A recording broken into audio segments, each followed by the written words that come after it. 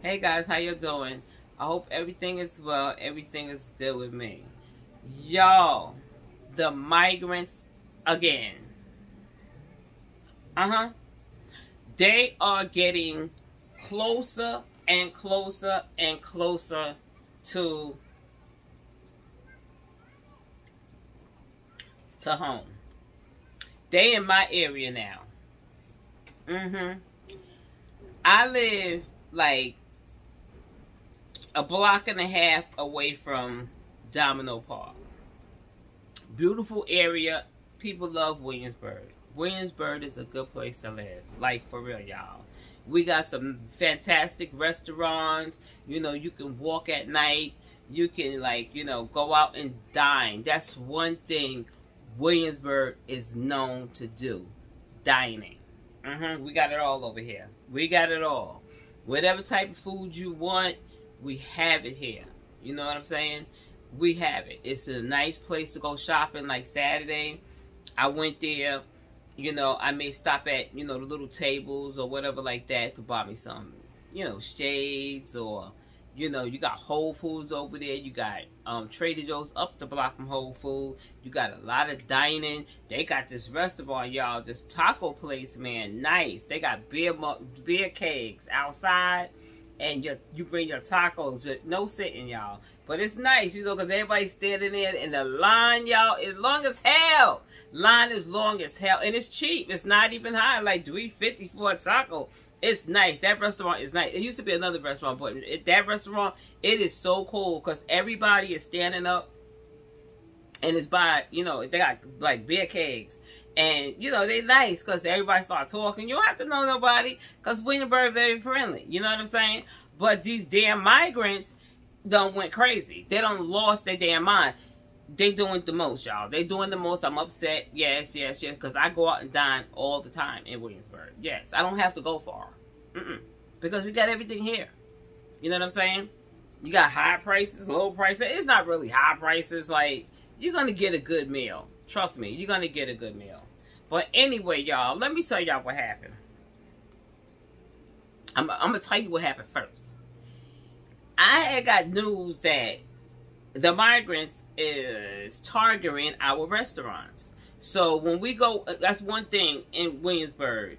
Like by Domino Park, all that area over there, Bedford Avenue, especially Bedford Avenue. Is that Bedford? Bedford Avenue. Bedford Avenue. They got restaurants on White and Kent they nice too, because I do go to one down there. You go down the staircase, man. It's just, oh my God, their food is so good in there. I, I just went there last week. Their food is so good. I'm sorry. I, I love that restaurant. I love that restaurant. I go there and get me a couple of bees, and I be out, and then I be eating.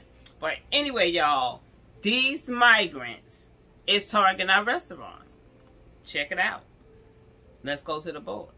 Let's go to my good old Puka this restaurant called Birds of a Feather. I love that restaurant.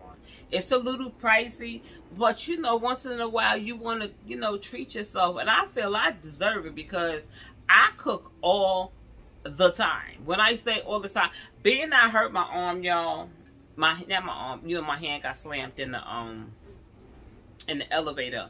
I cannot cut and you know stuff like that. So i gotta make the easiest things that i can make you know but you know my boy be helping me you know my man be helping me like to cut the stuff up or whatever. But anyway let's get back to this. But Birds of a Feather, y'all gotta try it, y'all. Like for real, they got some good food in there. It's a little pricey, but it's it's good. You know what I'm saying? You ain't gotta be buying everything. Just buy yourself a nice little plate. You and your, you know, whoever you with, y'all can eat together. You know what I'm saying? They ain't telling you can't eat together. You know what I'm saying? But it's nice. It is real. They got some nice restaurants over there. Like for real, for real. I go, like I said, all the time because I don't feel like cooking. You know. I want to be waited on. I want, you know, I want to be waited on sometime. But anyway, this is what happened. Let's go to the computer. Let me show you the restaurant first. Because people go in there, and I like the way the sit the setting is in there. Because everybody is like sitting next to each other. It's cute. Because you don't have to know nobody, but when they buy, when they order their food and stuff, and you be like, what you got? You know what I'm saying? That looks so good. And they be like, you want to taste it? You be like, mm-hmm. Yep. And they be like, let me taste yours too. So everybody be tasting each other food because it's like that. You know what I'm saying? People very, very friendly. This is the restaurant. It's called Birds of a Feather. Y'all get that together. I'm yeah, I'm advertising for y'all. You better hook me up, Miss Anyway. You see how everybody sit together? You see? It's nice.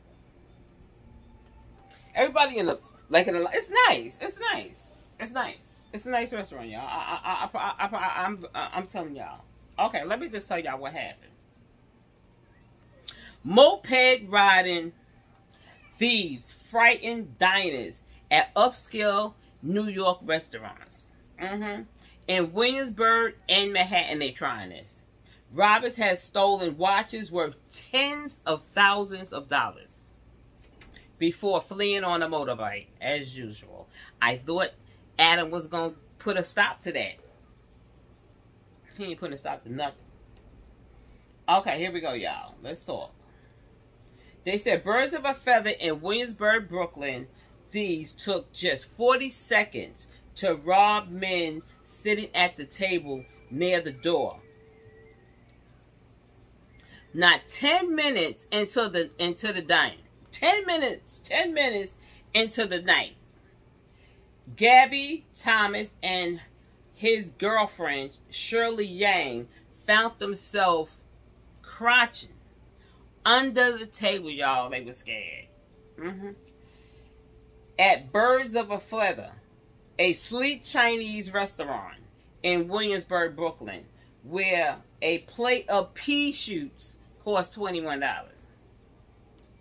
Just 20 feet away, a man wearing a mask brandished a gun in the crowd dining room and with a henchman grabs two phones and watches from three men at a table near the door. Diners was so scared that they ran in the kitchen, y'all.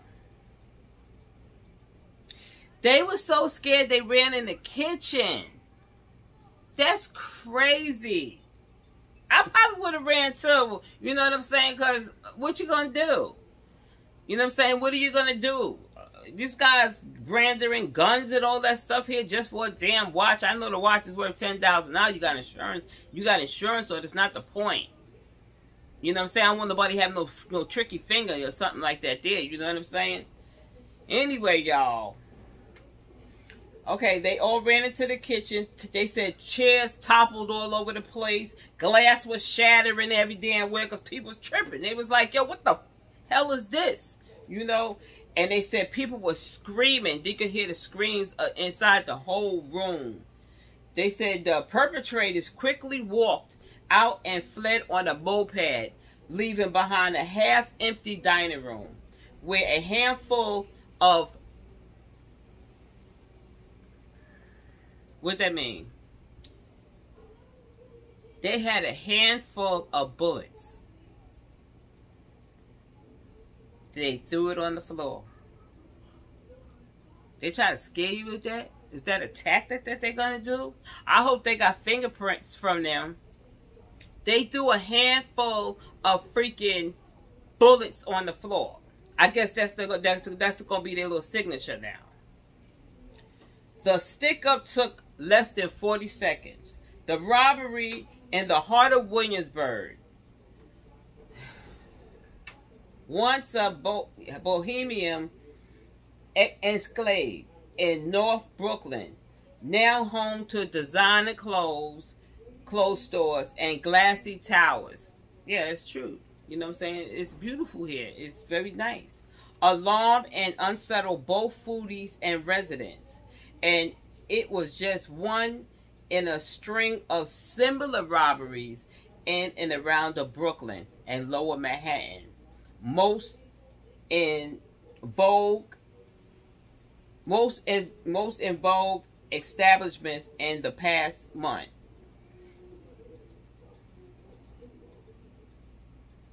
In each case, the perpetrators had swiped luxury watches from the diners, according to the police, including in one episode a timepiece worth oh my God. Jesus. A hundred thousand dollars. A timepiece. Such crime are unusual in the Aflac neighborhood that has been targeted. It's true, y'all. We ain't never heard that. That was crazy. Of the city, trouble of the city, troubles into its gritty play spot, glittery play spot, and they had lit up message message boards, receiving the kind of oversized attention and outrage that everyday crime in New York, New York poorest neighborhoods often do not. The thief had propelled persistence, um, grooming that the city is slipping into lawlessness. A, a, a perception that no citizen status had dispelled. The robberies following the same pattern. Two men, one carrying a gun, stealing belongings from restaurant patrons before fleeing, often on the motorbike or a dirt bike, according to the um, interview interviewers and surveillance footage. Most of the robberies had happened between 6:30 and 9 p.m. That's man early. Oh, have been target restaurants that attract celebrities and Brooklyn young creative types. See, like, okay, let me just say this.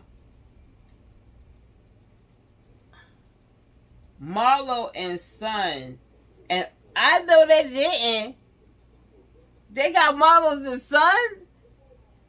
An oyster bar just 10 minutes from Birds of a Feather was hit in the early evening on May 31st.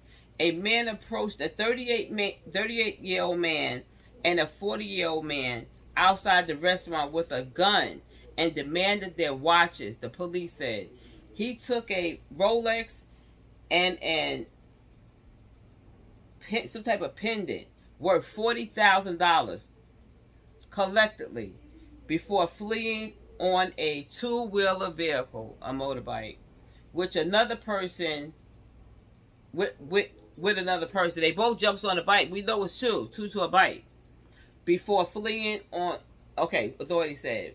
About three weeks later, a similar heist was reported outside Carbone's, an Italian restaurant in Greenwich Village, with a dress code.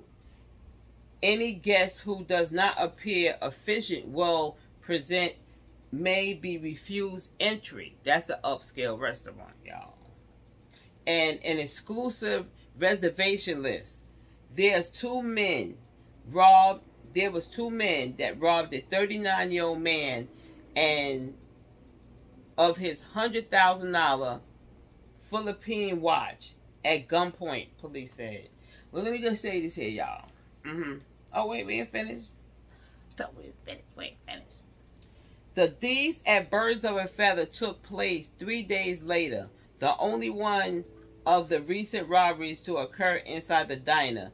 Then last last Thursday, last late last Thursday, the police said that two men riding a moped and carrying a gun stole a watch and a purse from a 29-year-old man and a 32-year-old woman on the corner of Manhattan and Norman Avenue in Greenpoint. What the hell is this? I go there like every day. Like I go there get my my Polish meat and stuff.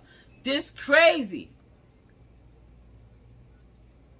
The pair was en route from Twin Lounge, a popular spot nearby, to another cocktail bar down the street, according to Greenpoint Greenpointers, a local website. No arrests have been made in any of these robberies. The police the police said the police department do not say whether the four similar thieves was connected. We haven't had crime like this persistent the neighborhood in very long time, said Alistair Stone, a board member of the North Brooklyn Chamber of Commerce, who the trend to the area related wealth. Williamsburg and Green Greenpoint in 2020, 2022 was nine was 900 wait 98,750 about 27% higher than the city's data from the Furman Center at the New York University shows the crime has put North Brooklyn on high alert, according to residents and business owners.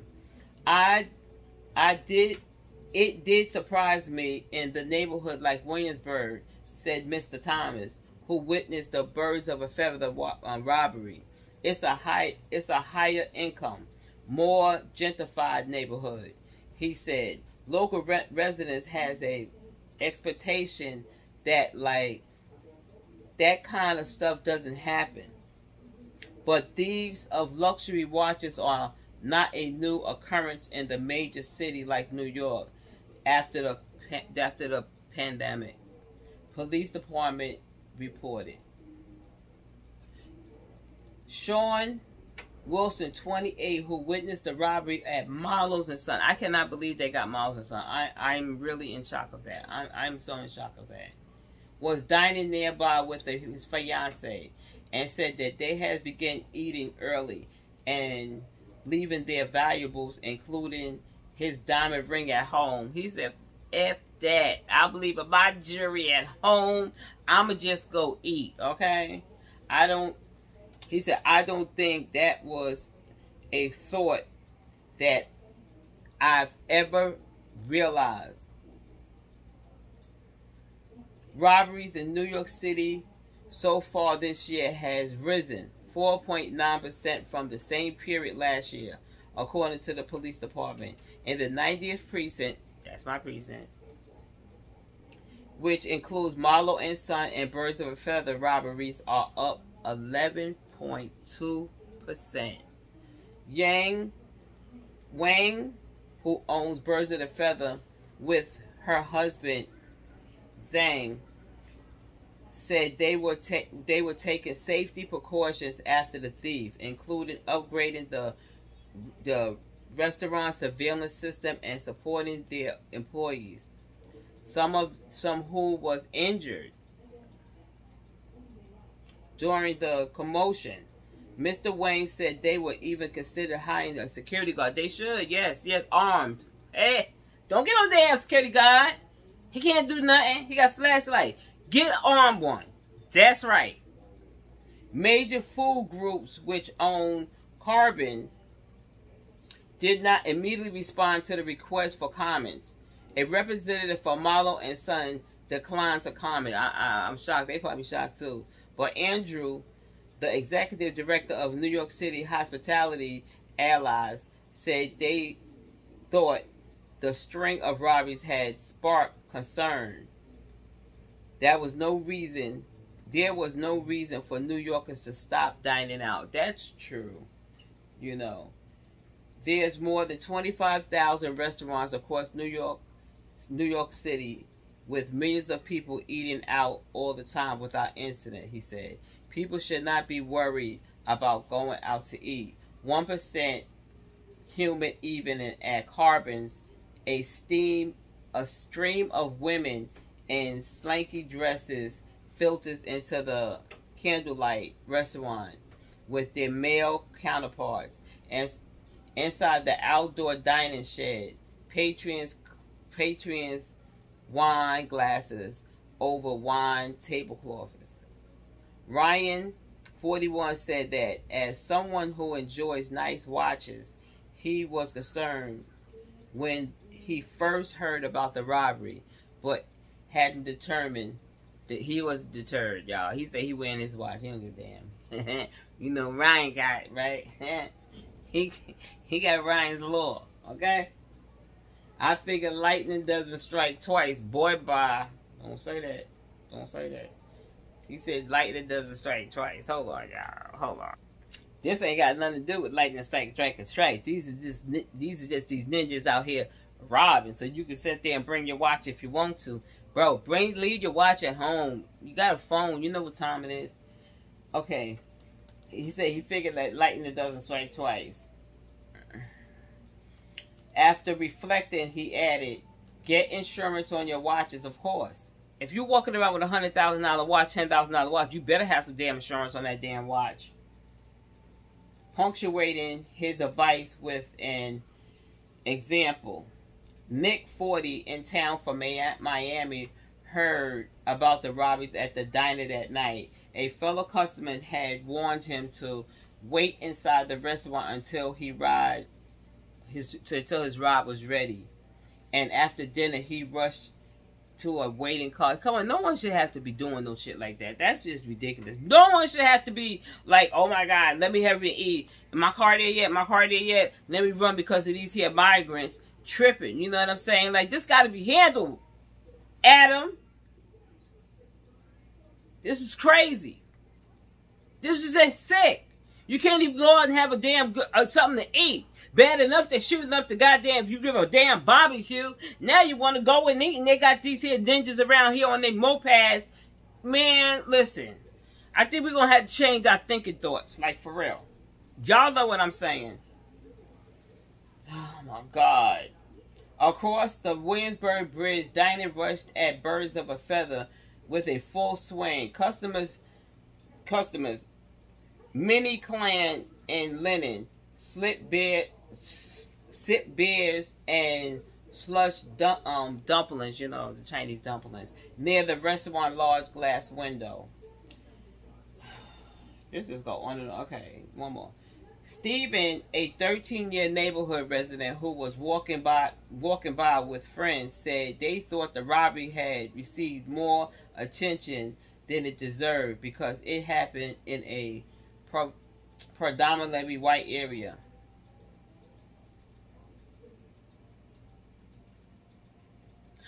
Okay, Steve.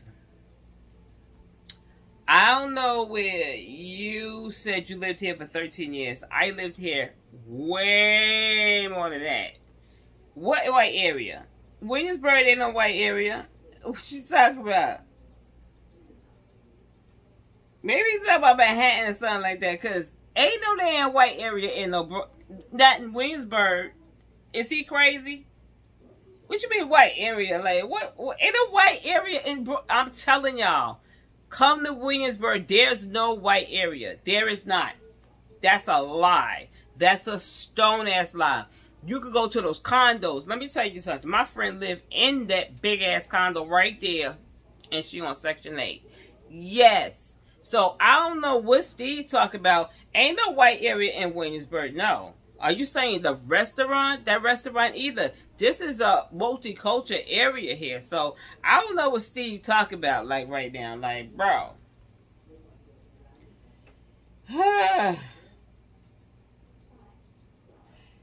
they just part of living in the city, he said. Just more likely to get big bit by a person in New York than a shark. Okay, I don't know what Steve talking about, y'all, but other people that know Williamsburg, Brooklyn, and the way there's no white area. Williamsburg is not a white area, so I have no clue what Steve is talking about. But anyway, y'all, I wanted to come on and let y'all know, like y'all be careful because they doing the most out here. These here migrants from wherever they from, most likely Venezuela. They this is what they doing now, and they was showing the one that the guys were sitting outside eating. The people were sitting outside eating. I swear to God. He got off his moped and he was walking around, around them saying, take off your watches, put up your phones and your money. Out, outside. Outside, y'all. Yo. All right, y'all. Hit that like button and subscribe, y'all. I'm just letting y'all know. Like, but you know what? Don't be afraid, you know, because, you know, I, I don't, I, I, I'm not afraid you know, to go eat because I'm going to go eat. I don't care.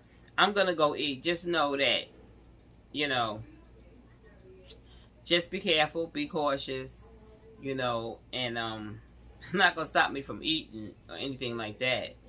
But um, I was shocked to hear Marlow and Son I, am shocked. And even birds of a feather, you know, like I just can't believe it. It'd be so many people in there, and you know they're gonna have to start giving some license out here. Mm-hmm. They're gonna have to start giving them license to carry because if you're if you're if you if you're if your um customers is walking there with hundred thousand dollar watches and stuff like that, you you're gonna have to do that. But anyway, like, like I said, hit that like button and subscribe, y'all. I gotta go. All right. Peace and be safe, y'all.